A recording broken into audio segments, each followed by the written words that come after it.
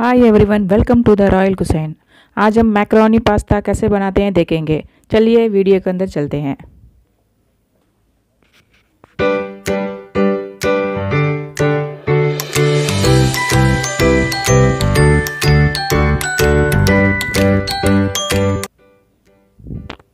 पहले एक कटोरी पास्ता ले लेते। देखिए छोटी छोटी है।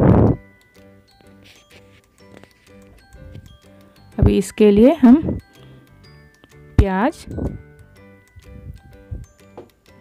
टमाटर और कद्दूकस के वाला आलू, करी पत्ता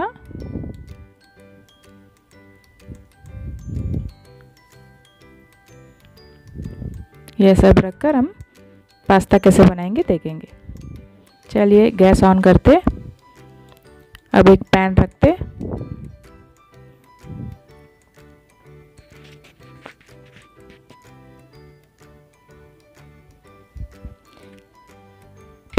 पास्ता को गर्म पानी में अच्छे से पकने दे देते उसके लिए हम एक गिलास पानी डाल देते पहले पानी को गर्म होने दीजिएगा।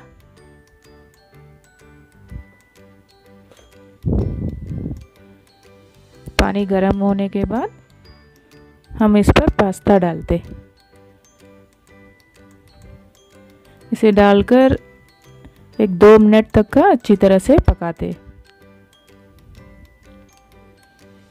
अच्छी तरह से मिलाकर छोड़ती हूँ। उसके बाद गर्म पानी में अच्छे से पक जाएगा। देखिएगा, अभी पक चुका है। अब इस पर थोड़ा नमक डालती हूँ।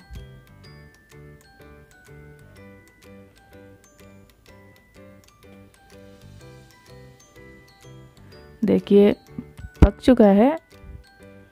और थोड़ा इस पर तेल भी डाली हूँ ताकि एक दूसरे से चिपक ना जाए। तेल डालने से सब अलग अलग रहता है।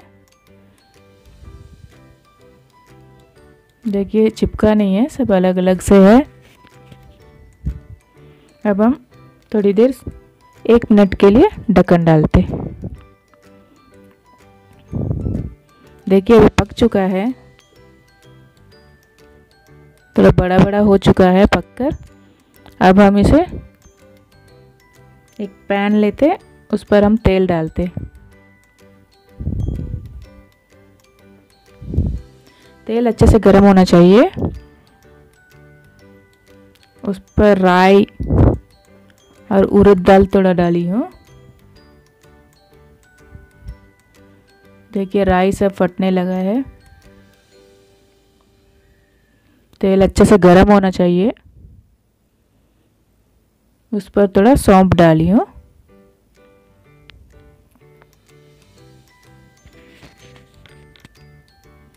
देखिए, अच्छे से पक चुका है। अब हम इस पर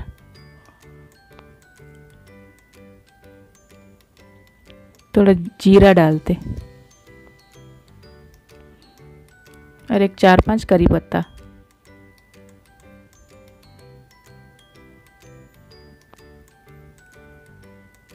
और बारीक कटा हुआ लहसुन। और बारीक कटा हुआ प्याज।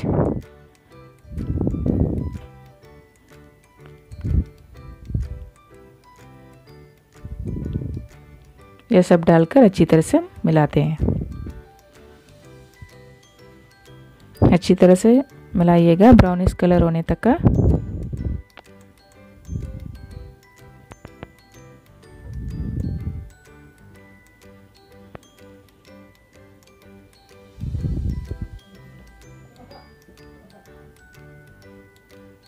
देखिएगा मिलाते रहिएगा।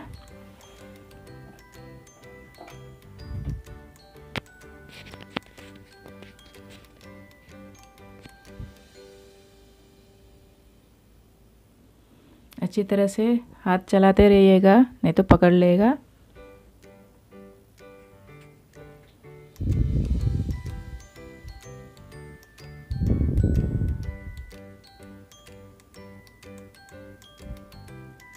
देखिए, पक चुका है। अब हम इस पर टमाटर डालते हैं। बारीक कटा हुआ, छोटा छोटा कटा हुआ टमाटर है।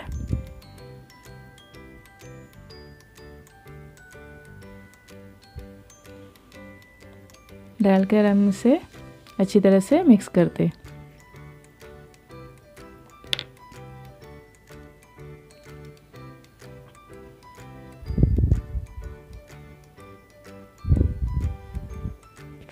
अच्छे से पकने दीजिएगा। देखिए, वो पक चुका है लगता।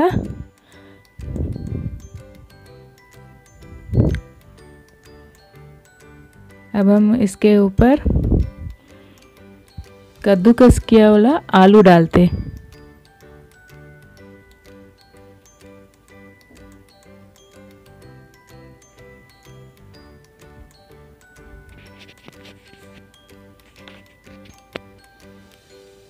अभी हम इसको अच्छी तरह से मिलाते हैं।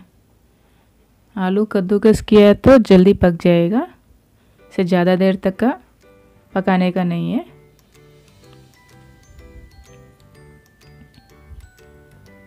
हाथ चलाते रहिएगा। अच्छे से पकने तक का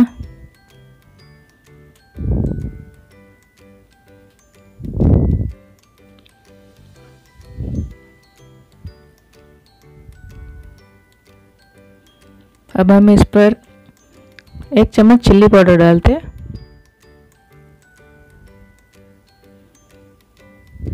एक चम्मच हल्दी।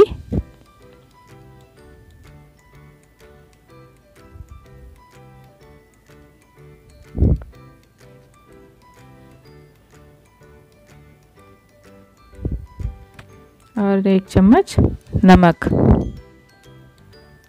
नमक आप स्वाद अनुसार डाल सकते हैं। और थोड़ा सा पानी डाल दीजिएगा अच्छे से पकने के लिए।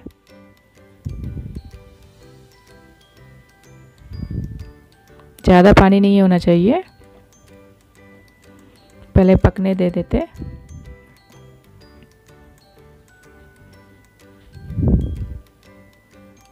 ये पक चुका है लगता है।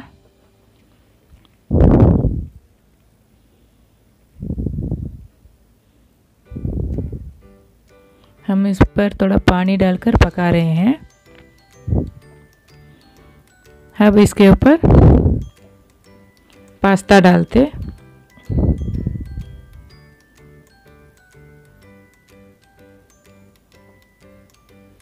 पास्ता डालकर इसे अच्छी तरह से मिलाते।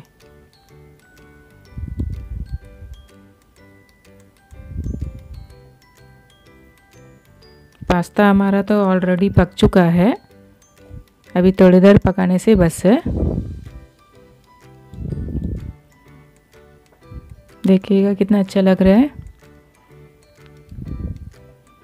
आप ऐसा ज़रूर बनाइएगा घर पर।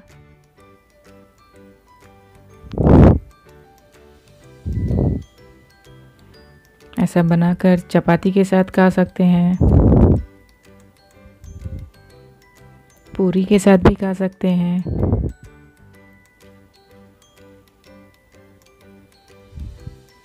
और ऐसे भी खा सकते हैं। आपकी मर्ज़ी।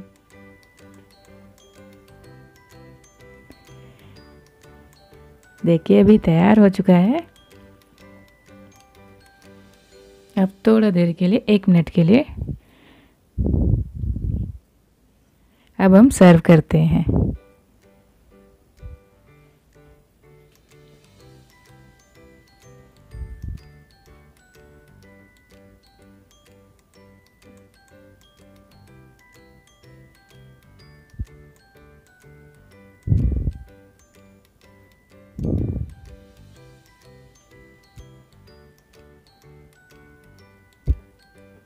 देखिए, हम इसके साथ चपाती भी रखे हैं। इसका कॉम्बिनेशन बढ़िया रहता है। थैंक यू वीडियो पसंद आए तो लाइक कीजिएगा। और अपने दोस्तों को शेयर कीजिएगा। और हमारे चैनल को सब्सक्राइब कीजिएगा। और बेल आइकन को क्लिक कीजिएगा।